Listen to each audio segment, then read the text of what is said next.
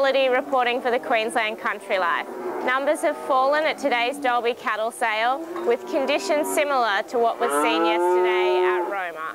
I spoke to Elders agent Joe Lehman about today's market. Market's a little, uh, bit stronger.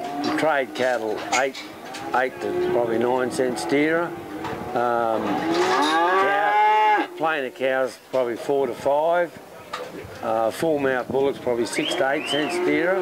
Been rain of um, 20 to 40 mils in the area over the weekend, which has helped the job. Not a lot of local cattle, mainly all western cattle. And um, yeah, if we can just get a bit more rain out in that western country, it'd help a lot.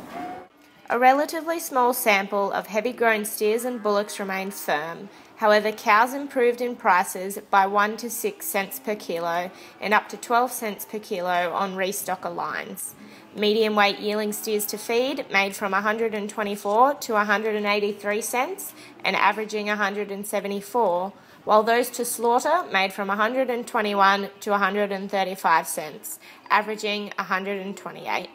The C2 heavyweight yearling steers to feeders sold from 154 to 173, averaging 161, while the C3 heavyweight yearling heifers to slaughter trended 16 cents dearer, selling from 142 to 156 cents and averaging 148 cents per kilo.